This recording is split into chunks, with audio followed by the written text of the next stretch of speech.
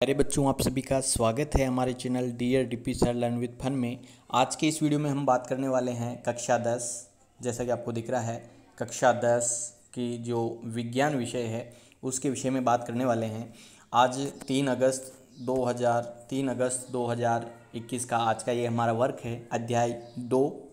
अध्याय दो, अमल और शाह अमल, शार्क एवं लवण वाला जो चैप्टर है उसके बारे में आज का ये वर्कशीट है, उस पर बात करने वाले हैं। तो चलिए, इससे पहले, शुरुआत करने से पहले मैं आप सभी से कहना चाहूँगा, अगर आप हमारे चैनल पर पहली बार आएँ तो चैनल को सब्सक्राइब कर लीजिए, ताकि आने वाला जो होमवर्क है क्वीज उसके सारे आपको सोल्यूशन मिल सके। तो चलिए, बिना किसी देरी के हम बात करते हैं। आज का हमारा पहला प्रश्न है, अम्ल और सार में क्या अंतर बताइए? अम्ल और सार में अंतर बताइए।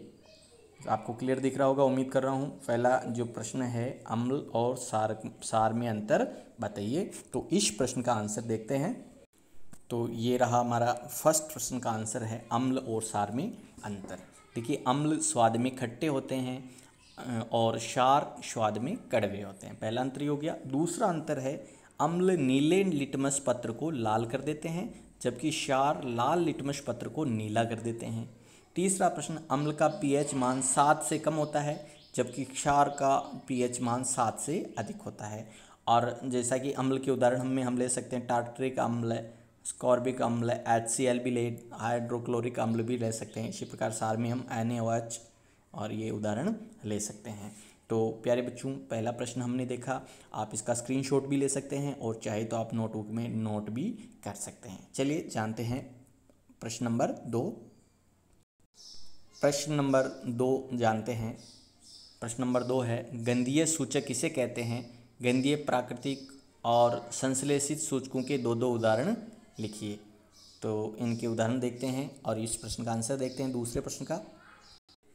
दूसरे प्रश्न का आंसर ये रहा, कुछ ऐसे पदार्थ जिनकी गंध अम्लीय या या सार्य माध्यम से भिन्न हो जाती है उन्हें गंधीय सूचक कहते हैं। जिन पदार्थों की गंध अम्लीय या सारी, सारकीय माध्यम से भिन्न हो जाती है, क्षारीय माध्यम से भिन्न हो जाती है, उसे गंध गंधीय सूचक कहते हैं। इसमें प्राकृतिक गंधीय सूचक, संश्लेषी गंधीय सूचक, अब प्राकृतिक गंधीय सूचकों में हम ले सकते हैं। लौंग का तेल है, कटी हुई प्याज है, जबकि संश्लेषित जो गंधीय सूचक है, उन्हें तनु एच इसका एक उदाहरण ले सकते हैं। तो दूसरा प्रश्न देखा, अब जानते हैं। प्रश्न नंबर तीन हमारा जो तीसरा प्रश्न है, लिटमस किससे प्राप्त होता है? लिटमस पत्र होता है, पेपर होता है, वो लिटमस लिटमस होता है, वो किससे प्राप्त होता है लिटमस? तो इसका आंसर देखते हैं। तो तीसरे प्रश्न का आंसर ये रहा, ये देखते हैं तीसरा प्रश्न, आपको स्पष्ट दिख रहा होगा।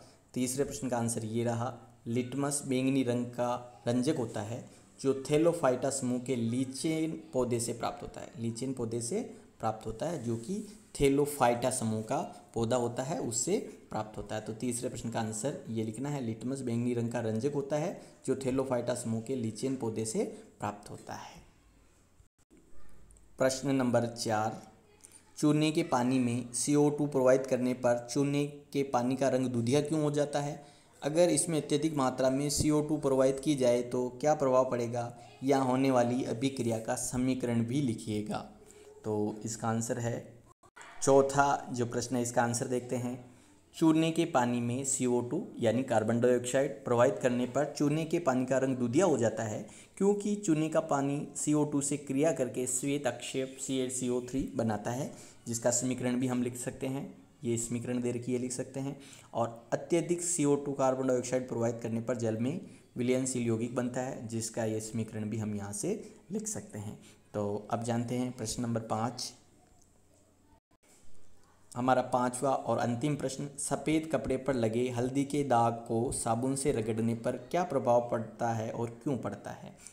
तो इसका आंसर है, पाँचवें प्रश्न का आंसर ये देखिए आप, ये रहा, ये लास्ट है, सफ़ेद कपड़े पर हल्दी के दाग को साबुन से रगड़ने पर दब्बे का रंग भूरा लाल हो जाता है, क्योंकि साबुन में कास्टिक सोडा पाया जाता है जो सारी प्रकृति का होता है और उसके सारे प्रकृति के होने से हल्दी से क्रिया करके बुरा लाल रंग कर देता है। इस कारण सफ़ेद कपड़े पर लगे हल्दी के दाग, दागों का रंग पूरा हो जाता है। ठीक है, ये आज की हमारी इस वीडियो में आज के हमने पाँचों प्रश्न देखे। उम्मीद करता हूँ आपको वीडियो अच्छा लगा होगा। अगर वीडियो अच्छा लगा है तो चैनल को सब्सक्राइब करिए और एक प्यारा सा लाइक लाइक कीजिए। वीडियो पूरा देखने के लिए आप सभी का धन्यवाद।